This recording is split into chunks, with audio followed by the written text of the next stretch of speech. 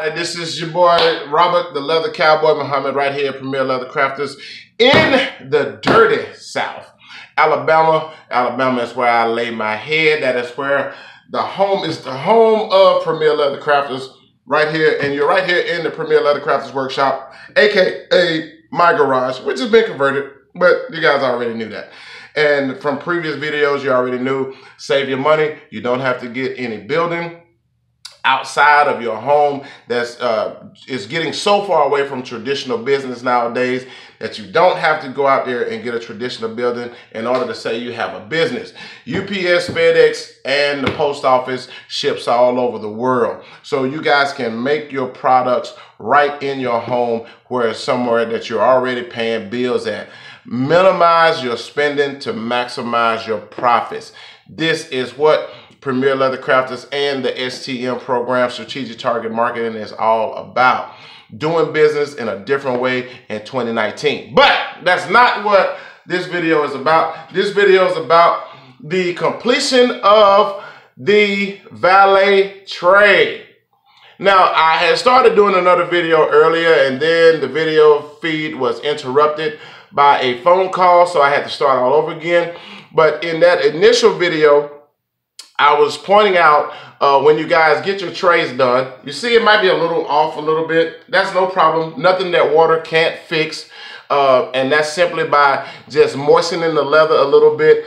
And then what I'm going to do, we already know that this is an 8 by 8 tray. So I'm going to come back and measure the insides of this valet tray from side to side again since we put the corners on doing the uh, just take some more measurements and you guys can go to your local Lowe's, Home Depot, whatever um, place in your area that sells wood and you can buy that piece of, of just a regular block of wood. So if you're going to be doing the 8 by 8 valet trays, now you can get planks, board planks uh, from as short as a 2 by 4 uh, uh, two by six, a one by six, a one by eight, one by 10, one by 12. You can, whatever size valet tray that you're going to be making. And what I'm telling you is, is to cut that out the exact same size of this, your finished product, once you know what valet trays you're going to be making, then you're going to just come back with your spray bottle, moisten both the outside real heavy with water, and then you're going to put that block inside of here to make it form that perfect square. Just to give it that great professional look. And then now I have a vacuum seal, um, what I use uh, in, in my wet molding projects and you guys can go to your local Walmart and buy that. Uh, I think I spent $14.99 on that vacuum seal and you can get the bags, the uh, additional bags all the way up to a one gallon size bag uh, for another $3.99 or $3.97, whatever Walmart charges. And depending on the size project, but you can get them all the way from a four by six up to a one gallon bag. And then you put that block of wood inside of here and then you put both of them inside of that vacuum seal bag and then you just suck the air out until it starts making the bag fit tight around your project and that block of wood. Now, the great part about wet molding, if you're doing it the way that I do it, you can actually leave that piece outside and let the sun, once you pull, pull all of the air out of it and you got it nice and tight, then you can just leave it out during the day. Depending on where area you live, um, now if you're out west somewhere where it's not so humid, it's just that dry weather, two, three, four hours max, four hours max. You can leave it out there and then you know that it is thoroughly dry. It has pulled all of that moisture out of there. And then by the time you pull it out of that vacuum bag, it will be a perfect square. Now you have to also level up all of the warpness in this so you don't have to actually deal with uh, the tray sitting flat. I guess I wish you guys can get this down. I'm gonna try to move this camera down so you can see where it won't have any rocking like this. You want this thing to sit flat on a client or a customer's uh, coffee table, banister, bar counter, wherever they have, you want it to sit flat without any rocking. Now, I don't think that'll deter from the actual work because you're actually focusing on the detailing of the work inside of the tray. But just for me to have that professional look, I want this to sit flat. Now, earlier in the earlier videos, I was pointing out the fact that the corners, once I sewed these up, the same thing that I told you guys about running that stitch along the outside just to make it look even more professional and more clean. Uh, the problem that I ran into was the corners was not even. They weren't flush. Now, I don't know if that was because of the stitching process, running that, that saddle stitch and pulling the thread tight, but it caused the corners to kind of tilt a little bit and one side was higher than the other. Now, luckily for me, in my shop, I have a belt sander and that I went back and trued these corners all down and made those all nice and even and flush and did that all the way around the entire project. Then I came back and took my edge rounder and rounded off those corners, put a little bit more gum trag on there and just went back and slicked everything down again. And now at this point, I'm going to go ahead and put some more edge coat. I already have my edge coat ready and I'm just going to re-edge coat these again and then come back with some more gum trag on top of the edge coat. Now, there was a question in uh, one of the another video that um, somebody, one of the subscribers had asked, and they said, well, I was told to put gum trag on last because gum trag doesn't receive, uh, it doesn't accept the dye or the edge coat real well. Now, in my experience, um, I even recently, just just this previous week, uh, I didn't have any problems with the um, the dye or the edge coat mixing and merging well, marrying well with the gum trag. So now maybe that's something I don't have a definitive answer for that. I've even called Tandy and asked questions about which one goes first the gum trag or the dye, which one came first, the chicken or the egg. Basically, that's the problem that or, or the situation that you're getting into. Now, most crafters that I know, they would do all of their edge burnishing and slicking first, and then they would dye it. Now, the one thing I do know about Fiebing's dye, you don't necessarily have, because Fiebing's dye is made so well, in my earlier years, before I even used gum trag or any type of edge coat, I would just burnish and slick with water and the dye itself.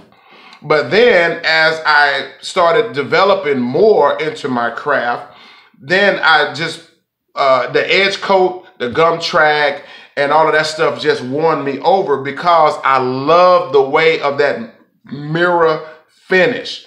That's just something that I love. Now, I probably, probably could have gotten that same result in the older, in the, uh, the earlier years, if just a little bit more elbow grease and time. But now my time is limited. I don't have as much time as I did back then because I'm uh, I have a lot of work to do. So edge coating and gum trag just sped that process up. But to get back to the question was which one goes first, the gum trag or the dye?